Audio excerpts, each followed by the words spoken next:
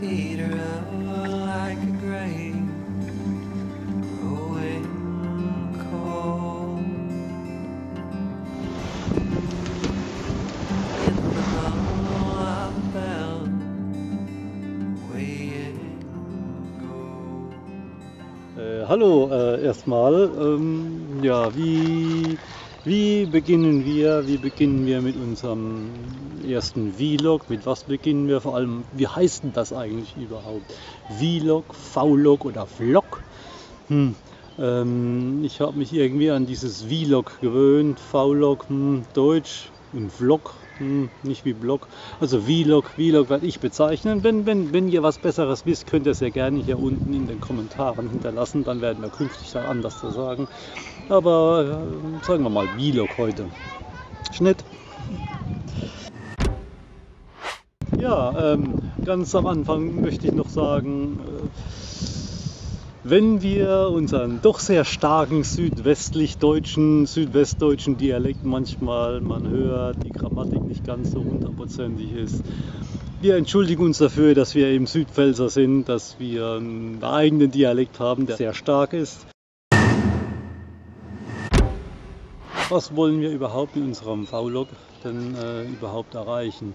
Ja, wir wir wollen dann überhaupt mal unsere Arbeiten, die wir jetzt so die nächsten zwei Jahre oder anderthalb Jahre sind es ja nur noch machen, wollen wir mal dokumentieren, wollen euch mit dabei haben, wollen euch zeigen, was wir machen, wie wir machen.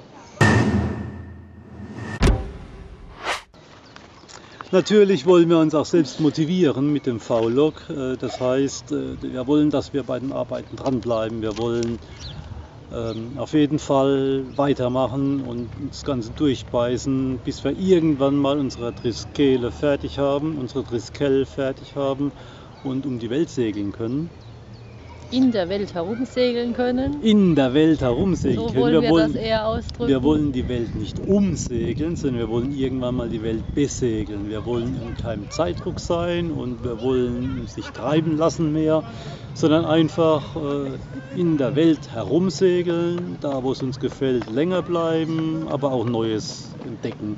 Und das möglichst auf ausgetretenen, nicht ausgetretenen Pfaden, also da, wo nicht jeder unbedingt hinfährt. Genau, natürlich wollen wir auch lernen, so einen V-Log zu machen, wie man einen V-Log macht.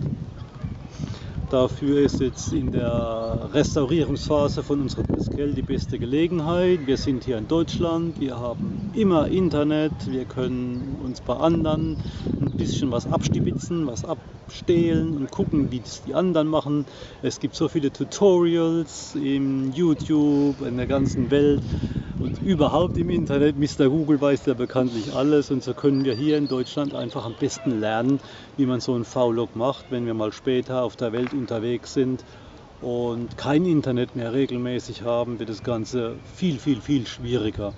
Das war auch einer der Gründe, warum wir hier in Deutschland unser Schiff umbauen, weil hier wir der Sprache einfach besser mächtig sind und wir wissen, wo wir hinzugehen haben, wenn wir was haben wollen. Das ist der Umbau im Ausland war erst angedacht, aber ist viel, viel, viel schwieriger und mit viel größeren Schwierigkeiten verbunden. Deswegen hier und wir können nebenbei noch was arbeiten gehen und ein bisschen was dazu verdienen.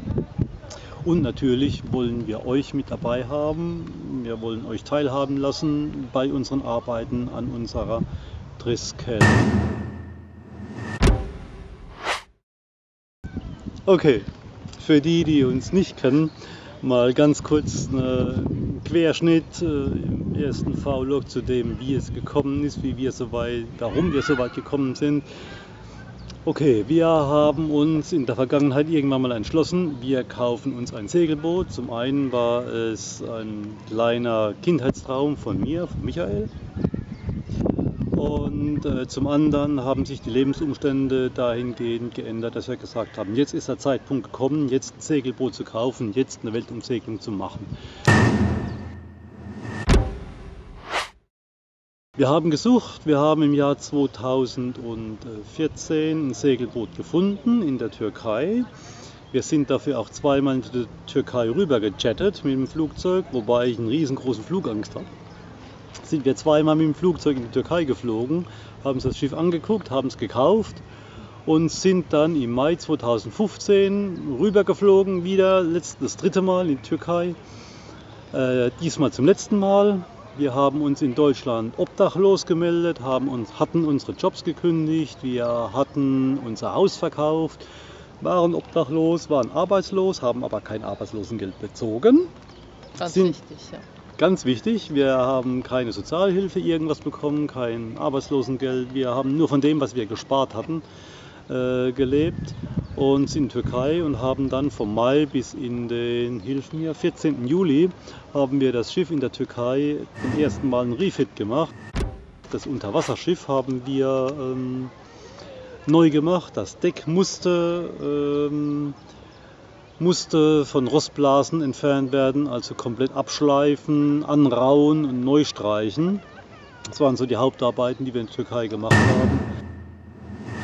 Sind dann vom Juli 2015 bis in den November, Dezember 2015 einmal von der Türkei über äh, Rhodos, über Karpathos, Kreta, Sizilien, über Sardinien, Korsika, rüber äh, Südfrankreich Festland und an der südfranzösischen Küste entlang bis nach Kap d'Agde gefahren, wo wir letztendlich unser Winterlager gefunden haben.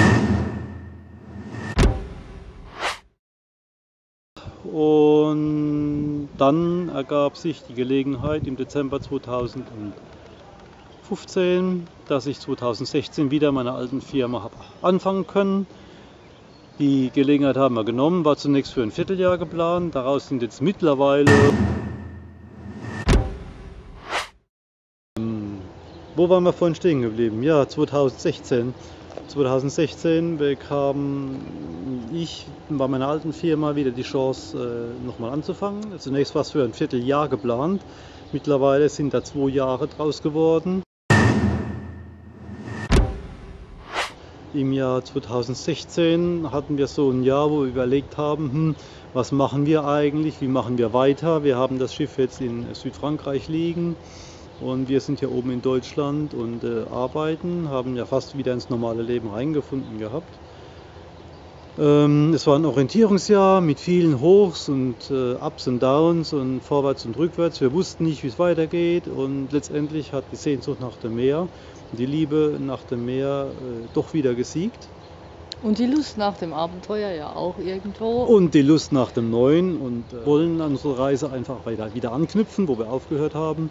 Haben im März 2017 die äh, Triskel von Südfrankreich d'Agde über die Rhone, über den Rhein-Rhone-Kanal, über den Rhein bis nach Germersheim geschippert, gefahren und haben es dort aus dem Hafen raus an Land heben lassen auf einen LKW und haben es in die Nähe von Germersheim an Land gestellt.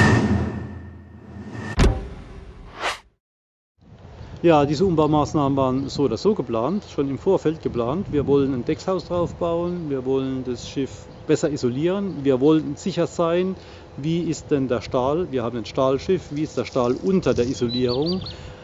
Die Sicherheit wollten wir haben und äh, ja, gleich das Schiff für auch die arktischen Meere äh, umbauen, dass wir auch mal in ein Eisfeld reinfahren können, ohne Angst zu haben, dass wir uns da reinrammen. Deswegen hier steht es jetzt in Deutschland. Das Schiff soll uns keine Grenzen setzen. Wir wollen sowohl die warmen als auch die arktischen Gewässer bereisen. Und mehr zu uns, mehr zum Schiff, mehr zu der Reise in den nächsten kommenden Tutorials, mehr zum Umbau. Genau. Ach, äh, bevor ich es vergesse, das haben wir ganz am Anfang ja vergessen. Ich bin Michael Und ich bin Anja. und wir freuen uns auf viele nette Kommentare. Jawohl. Ciao. Bleib, bleib dabei. Bleibt dabei. Ciao. Ciao.